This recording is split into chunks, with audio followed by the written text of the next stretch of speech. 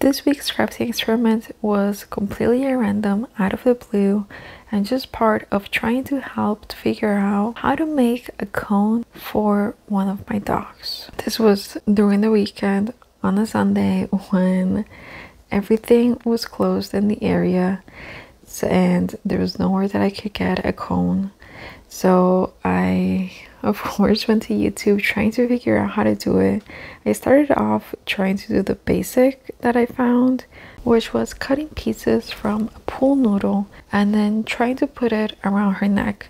Now, some of the videos I saw, they did it with a string, but I really wanted to try and do it with her own collar. So what I did is that I basically laid out the collar and then saw about how many of the pieces I needed to create, which ended up being about 16 inches for her.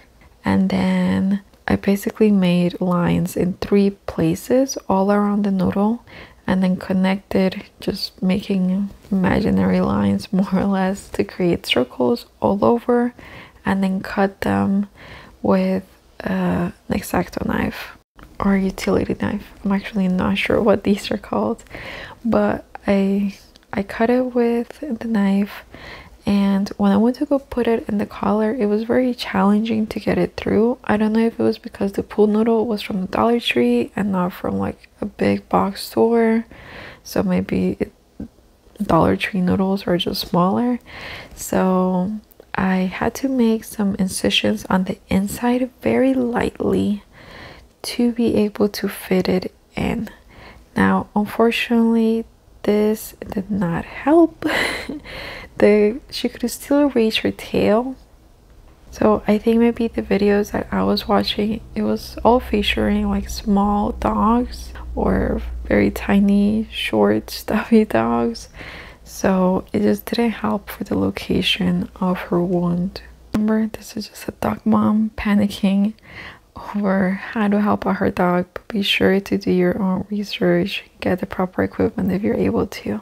In the end, the project it, it kept on evolving, but it was really not the end solution. So just want to say that if you are in a rush in an emergency, trying to also create a collar for your own pet, just keep an eye on them. Make sure you visit the the vet and follow whatever is best for you. But for now, I basically ended up doing additional layers of the noodle pieces. So after I had stretched out the collar, plopped all of the pieces inside, then I cut up some additional sections to make it thicker, hoping that the thickness around it would help kind of stop her from being able to reach her tail.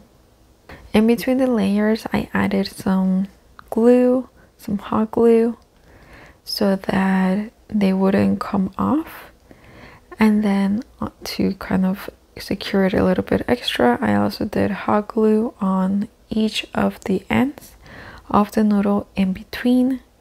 Just again, just trying to be as safe and cautious as possible. After I did all the gluing though, I still was a little um, hesitant on putting it on her so I added some masking tape for extra security. After I had it all finished, again, I did a puppy trial and she could still lick herself. So it really was towards the bottom of her tail which was very unfortunate, but she was really good throughout all of the fittings. So I made an additional layer again, just cutting through the middle and then cutting all the pieces, plopping them in place, and taping them all together.